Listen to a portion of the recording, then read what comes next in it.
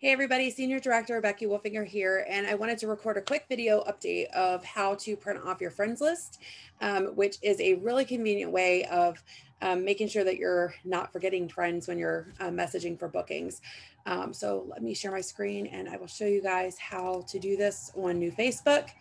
So you're just going to want to come up to the top right where you have um, the little drop down arrow and click that. Click settings and privacy click settings. And then on the left, you're going to want to come to your Facebook information.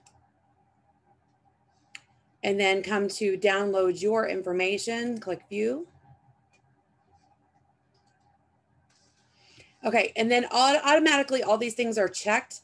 And so you want to click deselect, okay, and then you want to come to the friends and select that and click create file. And what's going to happen is Facebook will then send you an email um, and let you know when your data is ready. And then they will send a link for you to click. When you click that link, it's going to come into um, Facebook with the friends list file um, that you can then print off.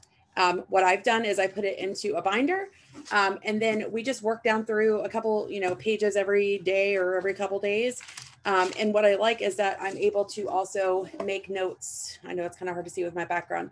I'm able to make notes off on the side um, and just kind of know, you know, what those conversations have been like. So I hope this helps you guys out. Um, good luck and happy booking.